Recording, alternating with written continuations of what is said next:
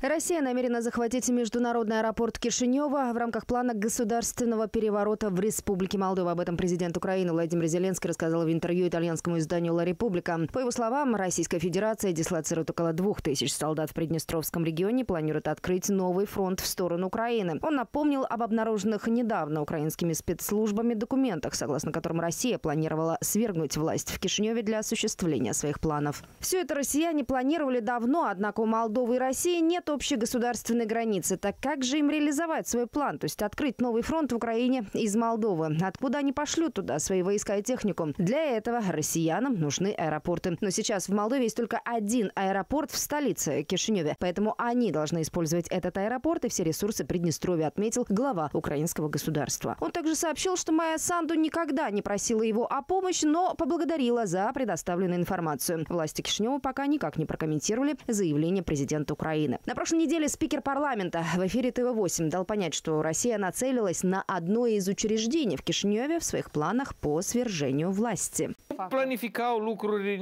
Планировали нехорошие вещи, хотели пригласить сюда некоторых ребят. И что они планировали здесь сделать? Ну, думаю, что явно не заниматься туризмом или пить вино. Поджечь парламент или что? Я не могу назвать учреждение, на которое они положили глаз. Почему? Потому что это неправильно. А только на одно учреждение они положили глаз. Не могу вам ответить на этот вопрос, потому что это чувствительная информация, и это может навредить на ход следствия и действия, которые предпринимают наши учреждения. Президент Майя Санду 13 февраля заявила, что Россия планирует с помощью протестов оппозиции с привлечением людей с военной подготовкой, а также граждан России, Беларуси, Сербии, Черногории напасть на правительственные здания и сменить власть в республике. Заявление последовало через несколько дней после того, как президент Украины, выступая в Брюсселе на заседании Европейского совета, рассказал, что проинформировал Майю Санду о том, что украинской разведке удалось перехватить детальный российский план дестабилизация политической ситуации в Молдове. Его слова подтвердили в службе информации и безопасности, а в России эту информацию опровергли.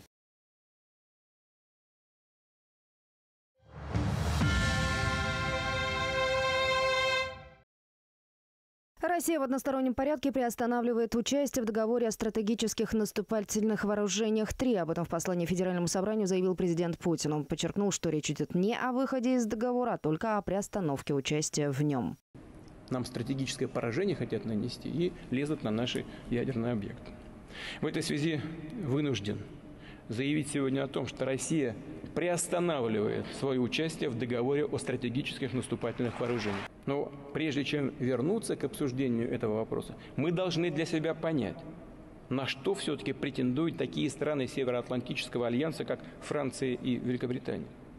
И как мы будем учитывать их стратегические арсеналы то есть совокупный ударный потенциал Альянса. Лидер Кремля подчеркнул, что Минобороны и Росатом должны обеспечить готовность к испытаниям российского ядерного оружия. Но Москва, по его словам, не будет этого делать первое. Лидер Кремля подчеркнул, что есть информация о том, что Вашингтон якобы задумывается о натуральном испытании ядерного оружия. О военных действиях на украинских фронтах Путин сообщил, что Россия не намерена отказываться от поставленных задач, а вторжение на территорию соседнего государства пояснил необходимостью, цитата, «защиты людей на истории исторических землях России. При этом кремлевский лидер пригрозил, что чем более дальнобойное оружие будет поступать в Украину, тем дальше Россия будет отодвигать угрозу от своих границ. Комментируя заявление Путина, генсек НАТО Йенс Столтенберг заявил, что Североатлантический альянс сожалеет о решении Москвы приостановить участие в договоре о сокращении стратегических наступательных вооружений.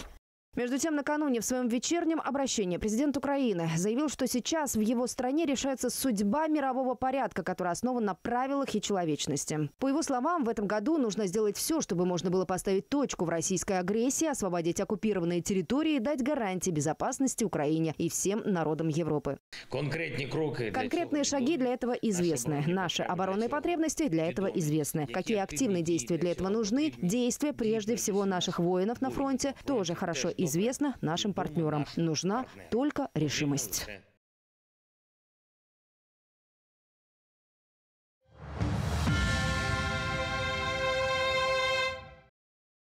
По меньшей мере, шесть человек погибли и почти 300 получили ранения в результате двух новых землетрясений, которые произошли в Турции в понедельник.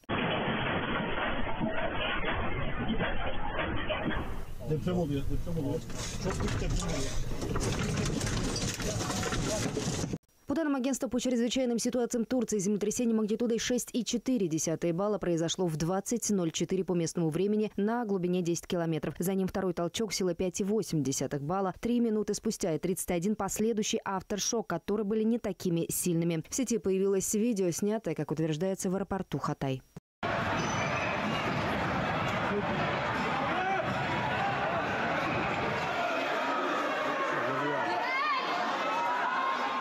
Вице-президент Турции сообщил, что власти контролируют пострадавшие районы и призвал местных жителей не приближаться к поврежденным зданиям. Зарубежные СМИ показывают кадры спасателей, вызволяющих людей из-под завалов. Землетрясение произошло, когда они находились в уже поврежденном здании, чтобы забрать все ценное, прежде чем оно будет снесено. Некоторых из них спасти не удалось.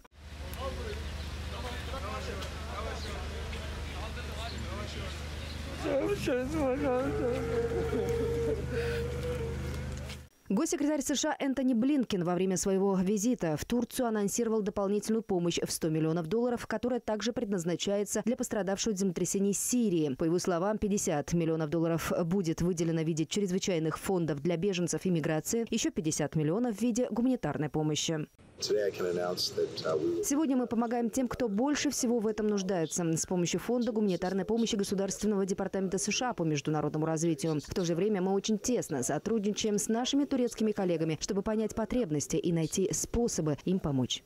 Между тем, свидетели сообщили агентству Reuters о новых повреждениях зданий в городе Антаке, провинции Хатай, одном из наиболее пострадавших от предыдущего землетрясения 6 февраля, в результате которого в Турции и Сирии погибли почти 46 тысяч человек. Гуманитарная группа «Белой каски», которая работает в соседней Сирии, также сообщает о раненых жителях. По сообщениям, после землетрясения в понедельник в Сирии около 470 раненых обратились в больницы.